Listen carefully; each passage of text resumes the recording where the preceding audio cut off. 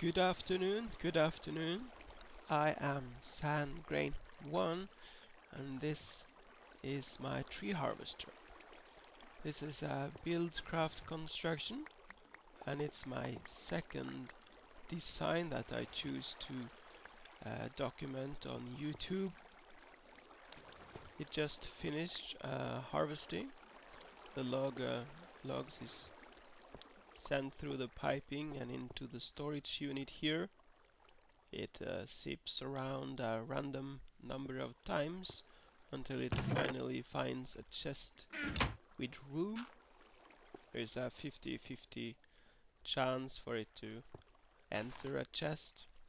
Unless the chest is full, uh, then it will always uh, continue. It is. It has now. Uh, it's now in planting mode, and the excess bone meal falls down there. And bone meal falling down there is actually a triggering mechanism uh, telling the harvester that a tree has grown and it's time for harvest. So that's what's going on now. We're back to harvest. I have two stripe pipes here, one for the logs and one for the dirt. So I'm using a stripe pipe to remove the dirt instead of a piston. Uh, the dirt is um, moved down, up, and comes uh, up again here, and into the chest here. So I have a single dirt in this machine. Uh, this is the sapling chest and the bone meal chest. Uh, this is uh, the sapling collector. I'm using that instead of obsidian pipes. There is of course an obsidian pipe down there picking it up. But uh, uh, with this collector it's enough with one and it can be unpowered. do not need to power it with an engine. As you can see here we are getting dirt first and then sapling and then uh, bone meal. And we are getting only one dirt because there is only one dirt and only one sapling because these two engines behind here the engines feeding dirt and saplings is running only as long as there is dirt in this chest. So after the first pulse uh, the two engine is uh, disabled so this is the logic for that uh, if there is dirt in the inventory in the chest then emit a red signal, red pipe signal and that allows both these engines to run. So we get only one. Uh, the reason for that is that if I allow the sapling chest to feed more saplings, uh, it uh, it would mix in with the bone meal that come and uh, it would be a little bit random um, how that would work. But I do feed multiple bone meals and that is because the bone meal is actually required as a triggering mechanism. Uh, the sand is of course also a triggering mechanism. When the sand falls down there and is detected in the piping there, it switches uh, from harvesting uh, to, to planting.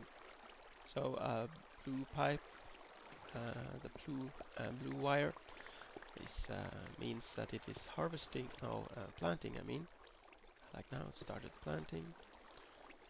And there you could also see the uh, red pipe signal going off again.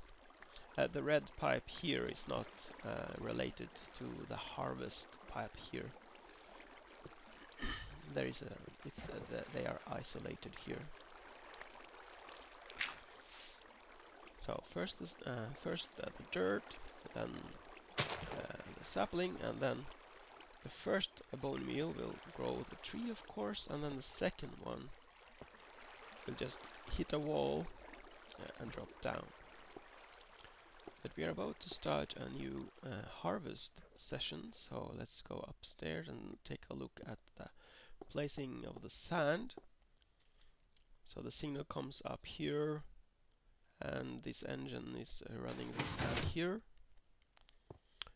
And uh, this um, a similar piston system here as uh, before, but instead of using a smart piston uh, that is triggered when sand is placed, I have uh, changed this up so that uh, this piston is actually triggered when a sand block leaves uh, the pipe.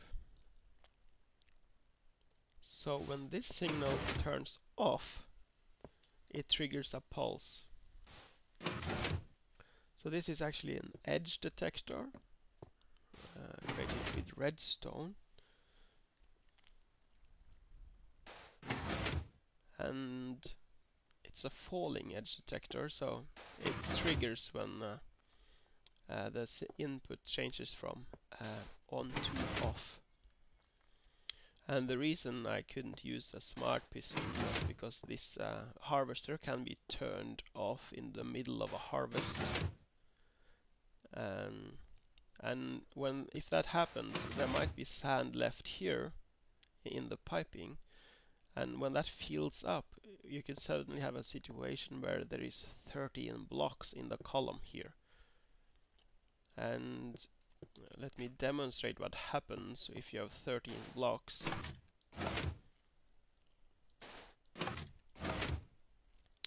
Uh, it's not 13 blocks, but this obsidian pipe will simulate the event.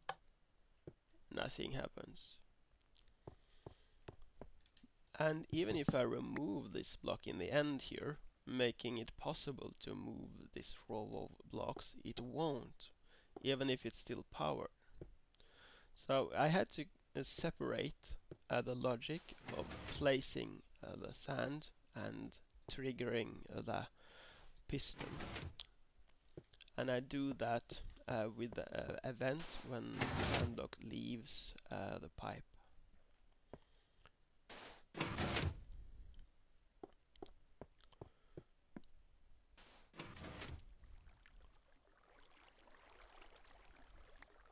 This is the brain of the harvester. Uh, the, um, this is a memory cell. It's currently showing harvest mode. So this is a memory cell and I've tried to uh, create, recreate it with redstone. So when the yellow wire, you can see all four the colors here, when the red uh, yellow wire is triggered, it forces the red wire to go off, which in turn allows the blue to come on. And when the blue is on, it prevents the red one to come back on. So that is the chain of events when a signal uh, yellow is uh, triggered. And likewise when green is triggered you get the same chain but uh, in the opposite uh, logic here. So blue is uh, forced off uh, it allows the red to come on and uh, the red being on uh, prevents the blue one to come on again. These levers is just to illustrate that there it's possible to turn both of them off. Yeah, this is the logic I've been talking about. uh, when the bone meal uh, comes falling down here and is piped through this pipe. It activates the green pipe signal, uh, so that would simulate the clicking button there. It turns off uh, the blue one which allows the uh, red one to come on and while the red one is on uh, it sort of suppresses the blue one the blue one is unable to come on. And likewise when uh, sand drops down a yellow pipe uh, wire uh, the wire yellow wire comes on. And when the yellow pipe is on uh, this is false. It's currently off. So uh, now we get the event here. It switches around forces the red one to come go off and that in turn lets the blue one come up so we are now uh, in, uh, in uh, planting. Planting is a fairly short uh, um, process. So the moment sand here has been removed I believe we are back in back in uh, harvest. So that was the sound from placing all the saplings. We now probably have a tree there and we should see the first bone meal. Bone meal triggers uh, the green was it? Which lets the uh, red one come on. This is an off switch for all of it. So both red and blue is now off and I'm basically just powering both yellow and green. So I'm this uh, lever is uh, the same as those two. And I'm using delay here so that when I turn it off again or switch these off again I uh, turn off the yellow one there uh, before the green one and I do that so that the har uh, the harvest always starts with a harvest. And that is important. It must always start with a harvest. So these are the delays that make sure of that.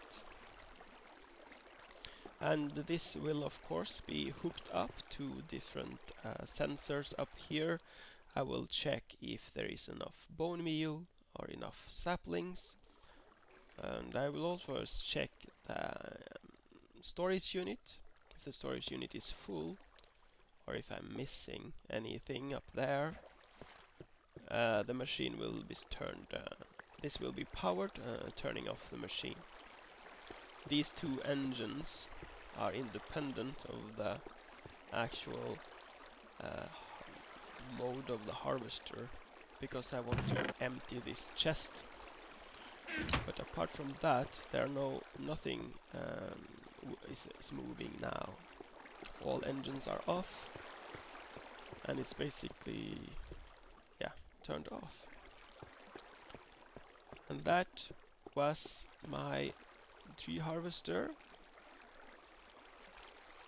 And if if you think this was a stupid idea because there is a mod called forestry, then I would like you to not look at this as a tree harvester, but look at it as a tribute to Buildcraft and Logic Gates. The best mod ever, or the best addition to any mod. Thanks for watching. Bye bye.